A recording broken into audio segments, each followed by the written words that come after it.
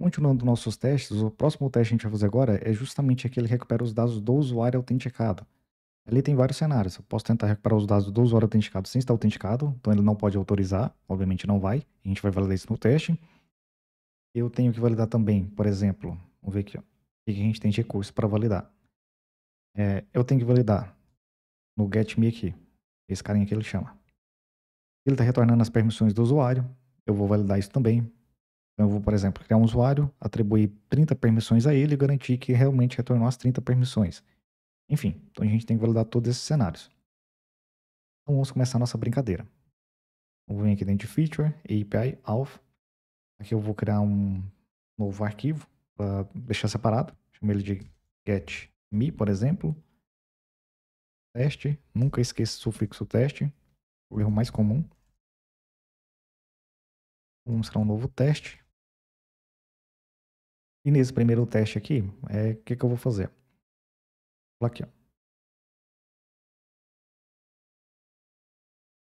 Falar aqui, o usuário.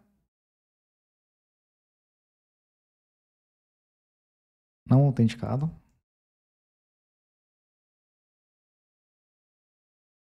Não pode. No caso, não logout, mas não pode.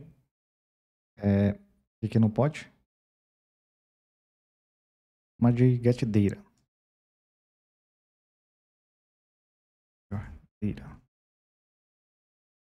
Não pode recuperar as informações. Então, beleza.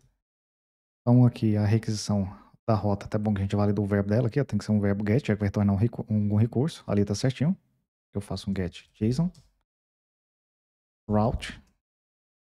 Qual é o nome da rota ali, ó? Defino um nome. Alf me.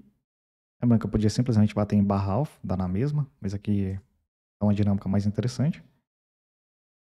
Particularmente gosto de trabalhar assim.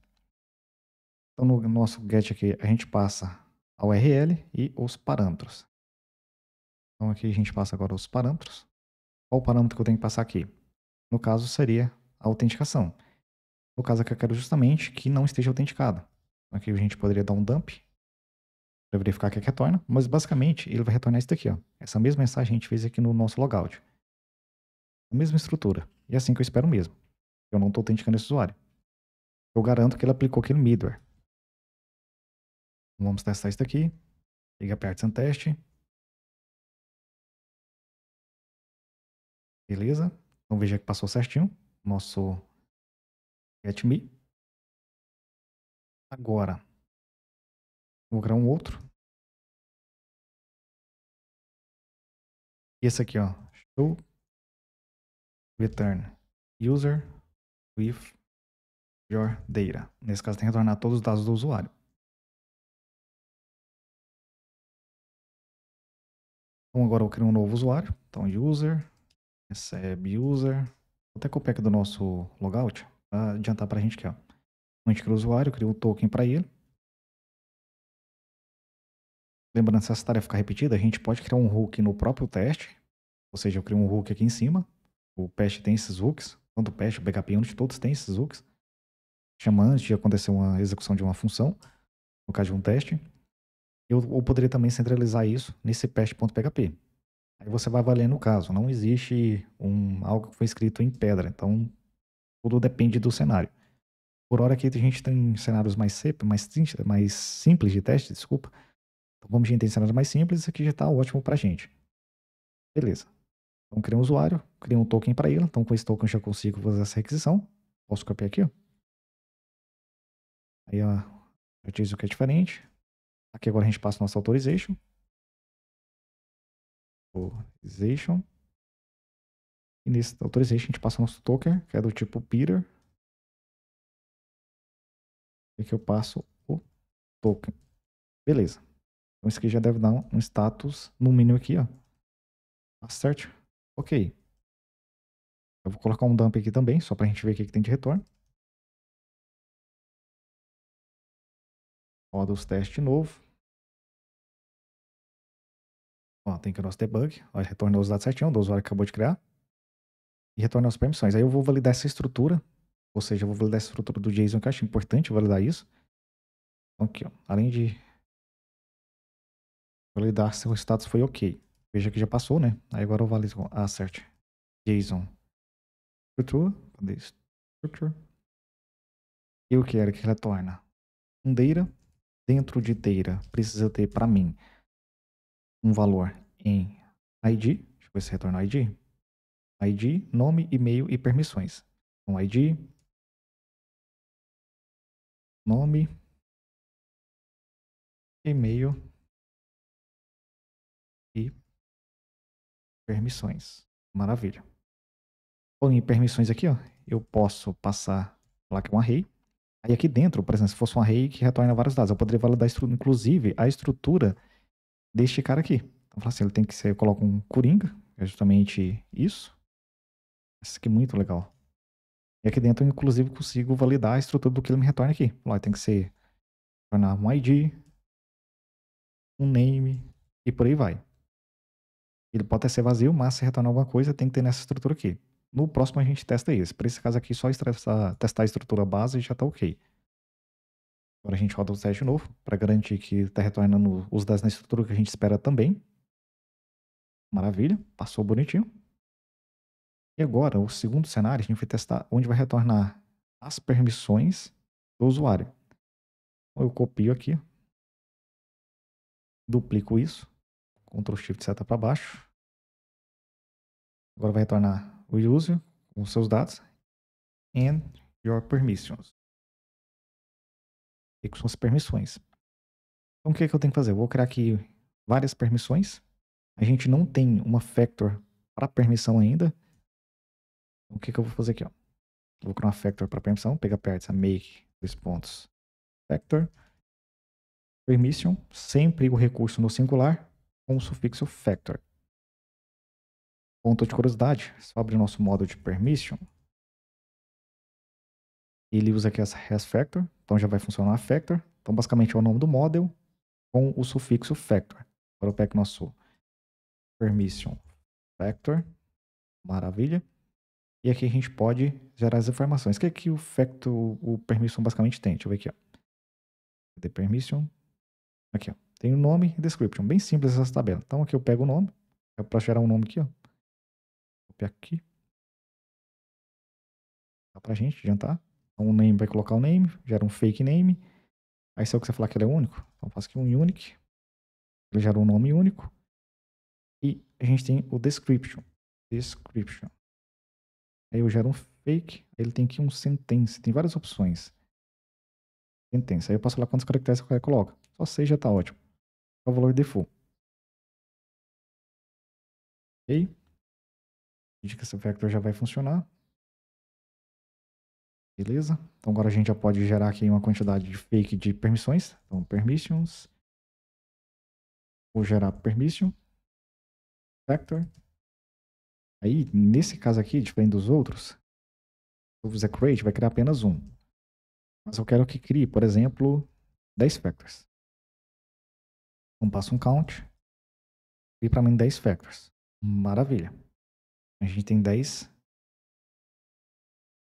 vectors que ele criou aqui. Se você quiser debugar, ó, vou colocar um DD, só pra gente ir trabalhando a dinâmica, entendendo como funciona.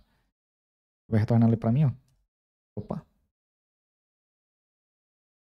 Vai retornar ali pra mim, um array, uma collection, no caso, então, vejo que retorna uma collection com todas as permissões. Então veja que tá funcionando. Então essa dinâmica aqui já deu certo. Aqui que a gente poderia fazer, não só poderia, mas que eu acho interessante é, que é algo que eu sempre faço. Eu já, trans, já crio esse cara e já transformo ele, pegando apenas o ID, transformando ele no array. Para isso, eu vou utilizar aqui ó, um pluck. O pluck ele vai retornar, por exemplo, apenas o valor do ID. Vou ver se assim vai dar certo. Roda aqui de novo. Vai retornar agora apenas os IDs, em vez de retornar a collection inteira. Olha só, apenas os IDs. Maravilha. Aí agora eu vou transformar em um collection, eu quero um array. converte isso aqui para Huawei. Solarivo faz isso. Nenhum outro framework no mundo consegue ter uma dinâmica tão interessante quanto essa. Aqui, ó. A gente tem um array com todas as permissões. Agora o que, que eu vou fazer? Muito simples. Acho que muita gente já matou a ideia. Agora eu pego todas essas permissões que eu tenho naquele array ali, que gerou, e vou associar esse usuário. Eu pego esse usuário. Pego o relacionamento chamado permissions, que a gente tem lá no módulo de usuários. Aqui eu utilizo o attach o sync, whatever, e passa essas permissões, o array com permissões. Só isso e nada mais. Então, a gente já vai vincular as permissões a esse usuário. Podia até chamar aqui de permissions IDs. Permission IDs, permissions IDs, não sei como fica melhor. Enfim. Aí, ó, já vai vincular as permissões ao usuário. E agora, eu vou dar simplesmente um dump aqui, só para me ver o que, que vai retornar. E depois eu tenho que validar aqui também se a quantidade de dados que retornou aqui está é, tá coerente. Enfim. Então, vamos lá. Olha que dinâmica interessante que a gente tem aqui agora. Olha só. Legal. Então, retornou aqui as permissões. Olha, retornou as 10 permissões do usuário. Ponto importante que eu vou fazer aqui agora. Presta bastante atenção nisso. Eu vou criar 10 permissões e vincular o usuário. E eu vou criar 10 permissões e não vou vincular o usuário. Por quê? Com isso, a gente tem um total de 20 permissões, que é só para garantir que não está retornando todas as permissões. Porque se ele retorna 20 permissões aqui agora, tá errado. Ele tem que retornar apenas 10. E a gente vai validar isso. Então, crio 20 permissões, crio 10 é, jogada, crio 10 e vincula ao usuário. Então, a gente tem uma dinâmica. Dinâmica aí para validar realmente não está retornando todas as permissões, não só as permissões relacionadas ao usuário. Roda aqui de novo, provavelmente deve passar. E agora a gente vai fazer nossas sessões. Maravilha. Então, primeira sessão que eu vou fazer aqui, ó, eu posso validar a estrutura. Então, veja aqui, ó, eu vou validar, retorna no array. E nessa estrutura, eu falo aqui, ó. Então, retorna um array, então passo o caractere coringa. E aqui agora eu valido que está retornando para mim o ID, o name e a description. Vamos rodar isso aqui para vamos fazer bem baby steps mesmo, passo a passo. Vamos ver se isso aqui passa. Passou. Maravilha. Isso aqui já passou. Então a gente garantiu a estrutura, inclusive, desses relacionamentos, que é importante para quando você tem um contrato ali com o teu front-end, você faz a documentação e etc. E agora, além disso, o que, é que eu vou validar também? Eu vou validar, é, já validou a estrutura, vou ler o status, não que esqueça de validar o status, agora eu vou validar aqui, ó, assert JSON count. Aqui eu passo a quantidade que eu espero. Quantas permissões o usuário tem? Que a gente vinculou ele? Apenas 10. E mesmo que no banco tenha 20, vincula apenas 10. E aqui a gente passa qual que é aqui. Então dentro de data, então dentro de data, permissions. Um ponto permissions. Então garanto que tem apenas 10 valores aqui dentro. Pois a gente fechou bem aqui toda a dinâmica de teste, ou seja, toda a dinâmica de possibilidades. Perfeito. Então veja, a gente tem aqui um número bem interessante. E toda a nossa estrutura muito bem validada. Isso aí. E com isso, então, a gente zerou os testes, é, os testes de autenticação. Agora a gente vai continuar os demais testes, que é para validar aqui o, os recursos do usuário, validar, é, vincular o usuário com permissões. Então aqui tem bastante teste que a gente pode fazer, ó bem interessante esse aqui para garantir que realmente está funcionando o comportamento, está sincronizando, se não está, se a quantidade no banco está ok, se não está. Então a gente vai validar todos esses cenários a partir de agora. É isso aí e bora continuar.